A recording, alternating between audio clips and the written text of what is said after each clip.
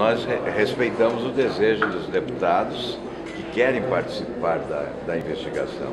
E eles podem contribuir muito participando. Por isso, a prioridade é para a CPI mista, sem invalidar a CPI exclusiva do Senado, que para nós já é um fato consumado. Só seria, evidentemente, é, relegada a um plano secundário se no dia de hoje os parlamentares da Câmara alcançassem o número regimental.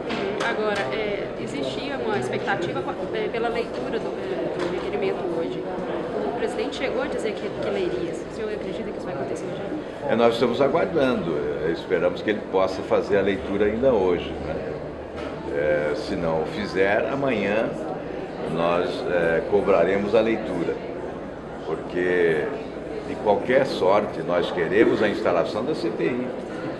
Se não for possível a mista, que seja a do Senado exclusiva. Mas é importante essa investigação, é, nós devemos isso à, sociedade brasileira. Em relação a adendo à, à CPI, não há nenhum receio da nossa parte. Isso é, é improcedente, né? seria arrombar a porta do, da Constituição, mais do que do regimento da Constituição.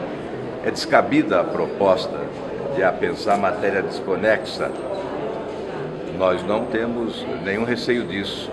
Se o governo insistisse com essa tese de propor um adendo, incluindo fatos de desconexos, nós iríamos ao Supremo Tribunal Federal e é uma causa ganha com tranquilidade. Agora, o requerimento continua com o mesmo número de assinaturas ou aumentou, diminuiu? Não, nós temos 29 assinaturas nos dois requerimentos, tanto na CPI do Senado quanto na CPI mista.